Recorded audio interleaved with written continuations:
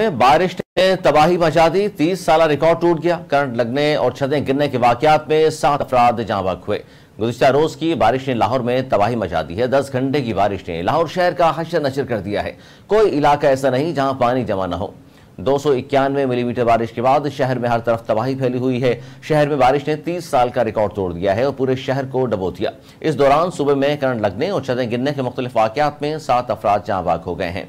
पानी में तैरती बिजली की तारें मौत का सामान बन गई। बोस्तान कॉलोनी में 25 साल का उस्मान पानी में करंट आने से दम तोड़ गया। नौजवान ढाई घंटे तक पड़ा रहा, कोई नहीं आया। सर्कुलर रोड पर पचपन साल की खातून और पाकिस्तान मिंट हदूद में सत्रह साल का एहतशाम करंट लगने से जहाँ भाग हुआ, तेज हवाओं के साथ बारिश ने दरख्त और खंबे भी कुहाड़ डाले। पूरे लाहौर शहर में बिजली का निज़ाम दरहम बरहम हो गया। गुजरावाला में छत गिरने से माँ और दो बच्चियाँ जहाँ भाग और पाँच अफराद जख्मी हो गए। महकमा मौसमियात ने खबरदार किया है कि मानसून स्पेल आठ जुलाई तक जारी रहने का इम्कान है।